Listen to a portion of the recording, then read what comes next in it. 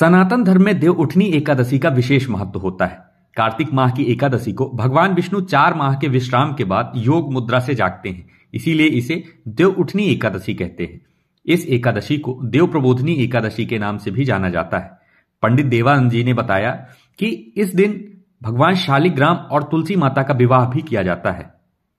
तुलसी पूजन से बड़े ही शुभकारी लाभ होते हैं और व्यक्ति के घर फैले वास, दोष और नकारात्मक ऊर्जा का नाश होता है। तो आइए जानते हैं तुलसी पूजन से जुड़े लाभ और इसके उपाय। किस तरीके से हमें तुलसी विवाह संपन्न करना चाहिए और इसके क्या लाभ होते हैं तो इस वीडियो में हम जानेंगे। तो तुलसी के पौधे के चारों ओर सबसे पहले आप गन्ने का मंडप तैयार कर लें।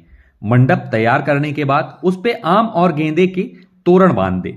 पूजा स्थल के समीप अष्टदल और कमल आकृति की रंगोली बनाएँ, यह काफ़ी शुभ मानी जाती है। रंगोली या कलर की मदद से शंख चक्र और गाय के पैर बनाएँ, यह शुभदायक होता है। तुलसी के साथ ही आंवला का पूजन करें और पौधा दशाक्षरी मंत्र से तुलसी का आवाहन करें। आवाहन के साथ ही तुलसी को घी का दीप और धूप दिखाएँ। गंगा जल से स्नान कराकर सिंदूर, रोली चंदन अच्छत और नौवेद्य चढ़ाएँ। तुलसी को वस्त्र और सोलह श्रृंगार से सजाएँ और अर्पित करें।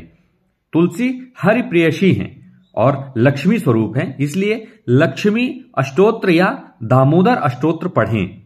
अगर वहीं बात करें तुलसी पूजन के लाभ की तो तुलसी पूजन के भिन्न लाभ होते हैं और इस दिन हमें ज़रूर इन उपायों को करना चाहिए। धर्म शास्त्रों से में मान्यता है कि एकादशी के दिन श्री हरि को तुलसी चढ़ाने का फल दस हज़ार गोदान के बराबर होता है। इसलिए इस दिन तुलसी दल अवश्य चढ़ाना चाहिए।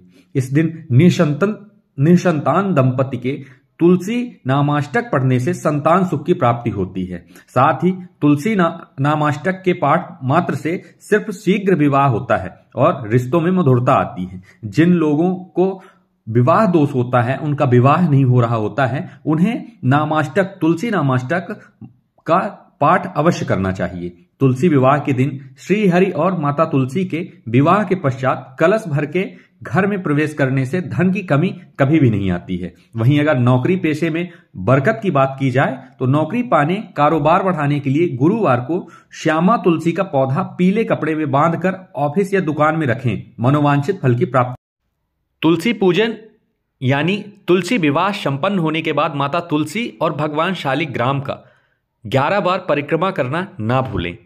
ऐसा करने से आपके सभी मनोवांछित फलों की प्राप्ति होती है और आपके घर सुख समृद्धि का वास होता है। लौकिक संसारिक सुख है भुक्ति। भुक्ति कहते हैं कि यहाँ सबसे बड़ा सुख है परिवार का सुख। जिसे कहते हैं कि निर्विघ्न दाम्पत्य सुख की प्राप्ति हो। तो लौकिक सुख की कामना लोग तो तपस्या किए हैं। हमारे पुराना इतिहास कहता है कि पत्नी पाने के लिए लोगों ने तपस्या की है।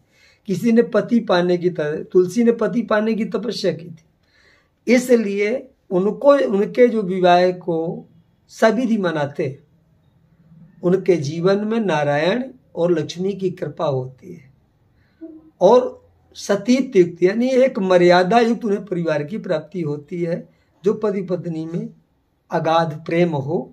ऐसा भगवान की कृपा से होता है, क्योंकि गोपियों ने भगवान की आराधना भी की थी और उन्हें भगवान से मांगा भी था, जिसके लिए कहा भी जाता है श्रीमद् भागवत में कि उनकी आरा, गोपियों की आराधना पति प्राप्त के लिए ही थी। तो स्त्रियों के लिए विशेष तौर से है और पुरुषों के लिए भी लाभदायक है। दोनों ही कर सकते हैं। तुलसी विवाह का मतलब यह है कि अष्ट प्रकार की लक्ष्मी। अष्ट लक्ष्मी में सारे सुख आते हैं। जो भी ऐसा करता है, उसे नारायण की असीम अनुकंपा प्राप्त होती है और उसके जीवन में विवाह जैसी समस्याएँ नहीं रहती हैं और परिवार की अन्य भी समस्याओं का समाधान होकर लौकिक सुख प्राप्त होता है।